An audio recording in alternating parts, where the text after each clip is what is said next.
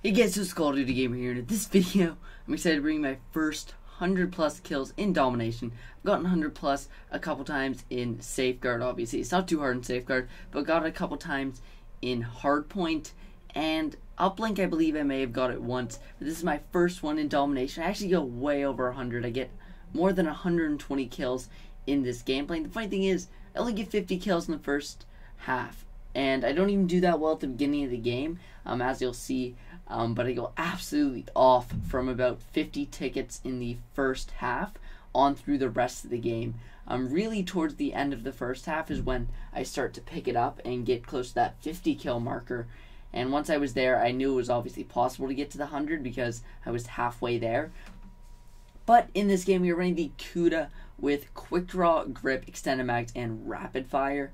I believe our perks are Sixth Sense, Fast Hands, and Tac Mask, maybe Gung Ho.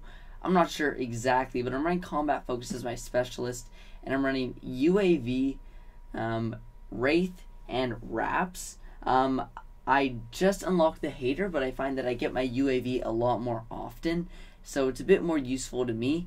And because normally I would run Wraith, H.A.T.R., and R.A.P.S., and just being able to get the UAV often um, helps me build up towards my other streaks easier. And this clip right here is when I start to go off. I'm near the enemy base, and I'm inside, and right here, I just sort of camp for a while because I have five points off my Wraith. And right there, I get a double, and I'm five points off my R.A.P.S., and I don't clutch it, but I got my Wraith, and that's really where the rampage starts, as my Wraith starts going in, and with that, it just makes the enemies easier to kill because they're obviously distracted by my Wraith.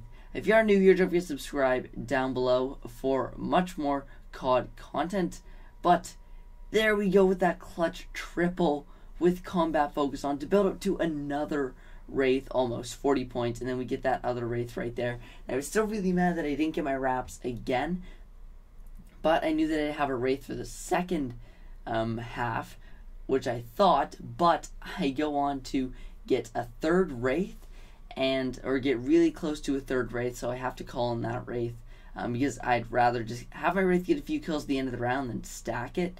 Um, but right here, we're again gonna push into the enemy base, and I don't know what it was, man. Today I was just after this game, I got hundred kills in hardpoint. If you guys want to see, like literally the next game, I got hundred kills in hardpoint, and then I had to go somewhere, and then when I came back, I got another eighty kills in the hardpoint game. So today I've just been going absolutely off. I don't know what it is. I'm going to keep playing just uh, while I'm on this gameplay streak. But if you guys want to see that hardpoint gameplay, don't forget to tell me down below in the comments, as I can actually prove that it is from the exact or exact same, not the exact same lobby. I actually quit out of this lobby because um, there was no longer domination. We were going to be forced to play uplink. As you can see right there before the half ends.